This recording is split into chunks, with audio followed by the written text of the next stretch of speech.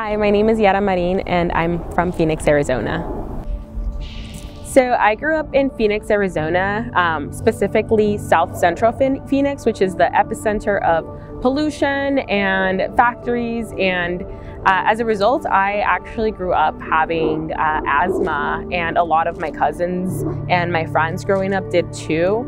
And so it was very frustrating as I got older to learn that that was a direct result of the environment that I grew up in, the parks that I went to, um, and because I was exposed to a lot of those dirty fossil fuels and that pollution from living under highways. And so as I've gotten older, I it has really become important for me to do uh, Latino advocacy, especially around um, public parks and outdoors and ensuring that our Latino children and our community members have access to clean parks where they can step outside, enjoy our beautiful Madre Tierra, and not have to worry about having respiratory issues or being exposed to dirty fossil fuels and harmful fumes that can cause asthma.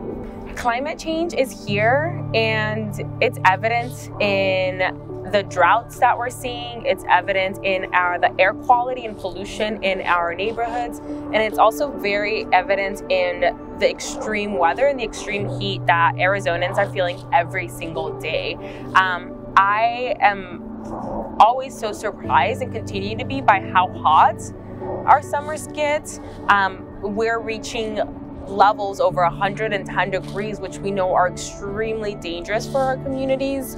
And we're only going to continue to see the heat rise in degrees every single year. And it's just absolutely terrifying and we need to be doing better to help mitigate the, the impacts of climate change and make sure that we're putting people and our planet over profit.